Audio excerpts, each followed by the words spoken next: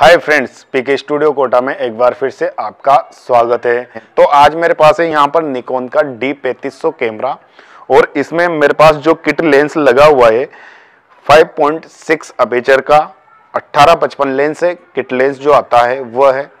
आप ज़रूरी नहीं है कि डी पैंतीस कैमरा ही ले, आपका कोई सा भी कैमरा हो एस एल आर हो डी एस एल आर हो आपका अट्ठारह पचपन अगर लेंस है तो उसमें आप ब्लर फ़ोटो कैसे ले सकते हैं? तो इसी टॉपिक के ऊपर आज मैं बात करने वाला हूँ और आपको सिखाने वाला हूँ कि आप 1855 लेंस में ब्लर फ़ोटो कैसे लेंगे। तो फ्रेंड्स वीडियो अच्छी लगे तो वीडियो को लाइक करना शेयर करना और चैनल को सब्सक्राइब करना, क्योंकि हम फोटोग्राफी से संबंधित टिप्स और ट्रिक्स इस चैनल पे देते रहते हैं। तो चलिए फ्रेंड्स आज की वीडियो शुरू करते हैं।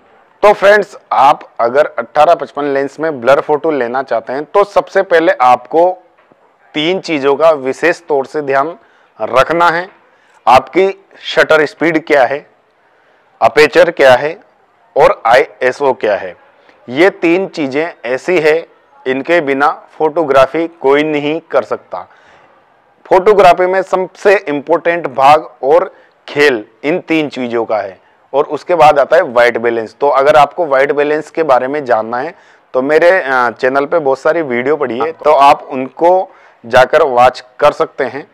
यहाँ पर अभी हम बात करेंगे 1855 लेंस में ब्लर फ़ोटो के बारे में। तो ये जो तीन चीज़ें बताई है मैंने, आईएसओ अपेचर और शटर स्पीड इनको आपको विशेष तौर से समझना है तो मैं आपको पास से समझा देता हूँ कि किस तरह से आपको आईसो रखनी है, किस तरह से आपको शटर स्पीड रखनी है और किस तरह से आपको अपेचर रखना है और किस, उसके बाद आप ब्लर फ़ोटो कैसे ले सकते हैं। तो चलिए मैं आपको डिस्प्ले पे दिखा देता हूँ। तो सबसे पहले आपके पास कोई सा भी कैमरा हो, आप इस चीज़ का विशेष तौर से ध्यान रखें कि उसकी सेटिंग आपको क्या रखनी है यहाँ पर आप मेरे सामने देख सकते हैं यहाँ पर जो आईसो है आपको जो सब्जेक्ट है उसके अकॉर्डिंग सेट कर, कर लेनी है कि आपकी कितनी आईसो पे फ़ोटो क्लियर आती है जैसे लाइट डार्क या मीडियम जैसी आपको रखना है वैसी आप यहाँ पर सेट कर सकते हैं उसके बाद जो अपेचर है यहाँ पर मैंने 5.6 लिया है क्योंकि जो अपना अट्ठारह पचपन का लेंस है उसका अपेचर 5. सिक्स है। अगर इससे ज़्यादा आप बढ़ाते हैं तो आपकी जो फ़ोटो है, उसकी जो क्वालिटी है, उसमें शार्पनेस की जो कमी है, वो आ जाएगी।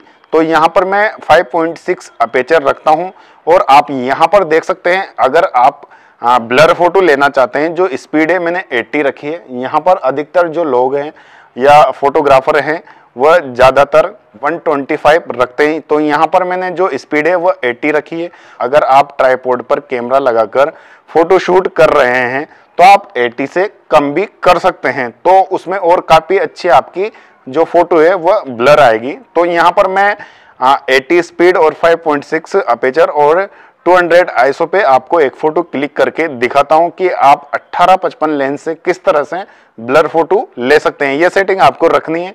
तो आइए मैं आपको दिखा देता हूँ। तो फ्रेंड्स, आपके सामने जो मैंने सेटिंग थी वह रख ली है। आप देख सकते हैं, मैंने 80 तो स्पीड रखी है और 200 आईएसओ रखा है और 5.6 मैंने लेंस के अकॉर्डिंग अपेचर रखा है।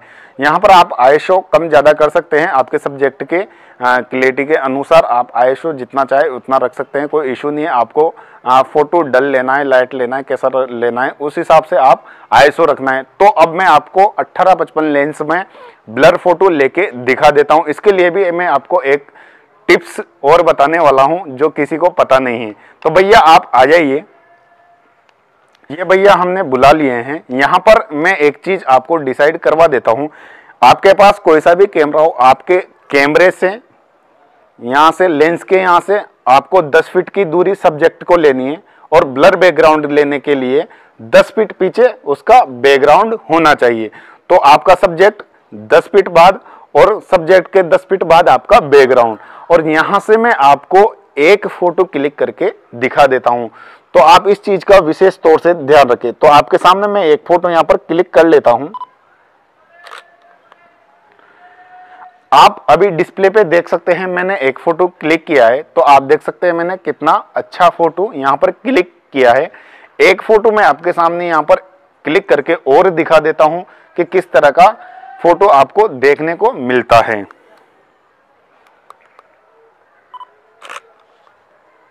तो आप ये दूसरा फ़ोटो भी देख सकते हैं कि कितना अच्छा फ़ोटो आया है और ब्लर भी आया है। यहाँ पर मैंने स्पीड 80 रखी है। इस वजह से ये ब्लर आया है और सब्जेक्ट की जो दूरी है, हमने 10 फीट सब्जेक्ट की दूरी रखी है और उसके बाद हमने बैकग्राउंड की जो दूरी है, वह भी 10 फीट रखी है। इस वजह से ये अपना फ़ोटो ब्लर आया है। दूसरी चीज़ हमें याद रखनी है, वह स्पीड रखनी है 80 अगर आपका हाथ सेक नहीं होता है तो आप इससे और अच्छी ब्लर फ़ोटो भी ले सकते हैं, लेकिन उसके लिए आपको स्टैंड यूज़ करना पड़ेगा। जो ट्राईपोड होता है, उस पर कैमरा रखना पड़ेगा और सब्जेक्ट को 10 फीट दूरी पे, फिर बैकग्राउंड 10 फीट दूरी पे। उसके बाद आप फ़ोटो लेंगे, इससे भी अच्छा ब्लर फ़ोटो आ जाएगा। तो फ्रेंड्स आज की वीडियो में इतना ही था। वीडियो अच्छा लगा हो तो वीडियो को लाइक करें शेयर करें और चैनल को सब्सक्राइब करें, क्योंकि हम फोटोग्राफी से संबंधित टिप्स और ट्रिक्स इस चैनल पे देते रहते हैं। मिलते हैं इसकी नेक्स्ट वीडियो में। तब तक के लिए बबाई जय हिंद, जय भारत, वंदे मातरम।